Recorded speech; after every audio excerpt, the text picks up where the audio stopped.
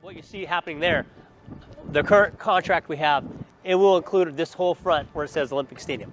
That will all be redone like the bottom is here. Yeah, so this, so the city started renovating Olympic Stadium back in 2018. The first appropriation that we received was from the state legislature. Um, we received about $505,000 from the legislature.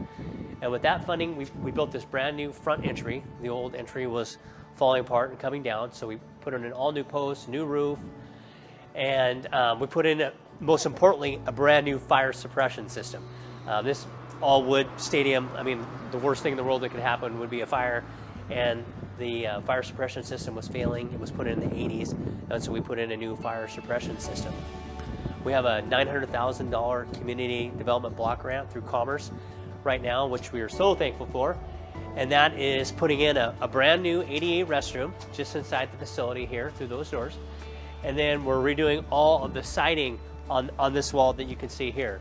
Um, be brand new cedar siding that will be stained. And then on the very far wall, we had to make some significant structural repairs as well. They're all being done with the Commerce Grant. But I think why this facility ranked high enough to receive a community development block grant is, is because it is an essential community facility. I mean, it's the home to high school sports, home to college sports, community festivals and events. I mean, it really is our uh, community center. It's just an outdoor community center. Um, but it's just per perfect for so many events, and it holds 8,000 people. I mean, it's just a one of a kind. It's the last left in the United States all wood stadium that's like this.